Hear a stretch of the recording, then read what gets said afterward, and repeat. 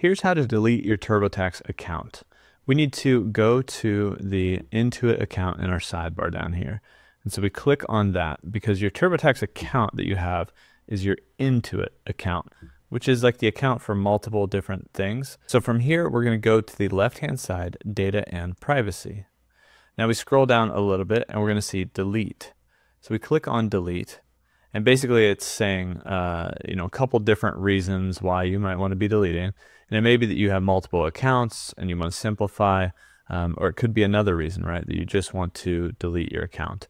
I'm going to go ahead and say I have multiple accounts because in this case, that's true. This is a dummy account and my real account is the one I want to keep. So I'm going to say I have multiple accounts and I want to simplify. Now it's going to ask you, are you looking for one of these other answers? And uh, the answer here is is no. You know, I want to delete. Now it just shows here that uh, you know a few things like select the data you want to delete, and it shows your products. In this case, I would like to delete TurboTax and that account and any data that was there. So I'm going to hit continue with that check marked.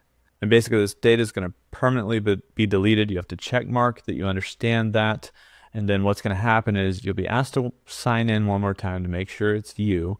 And then your data uh, request will be submitted and you'll be signed out of your account. After you sign in and enter in your password, uh, basically it's going to do exactly that. It's going to submit that and then log you out. And so you can check your email for updates.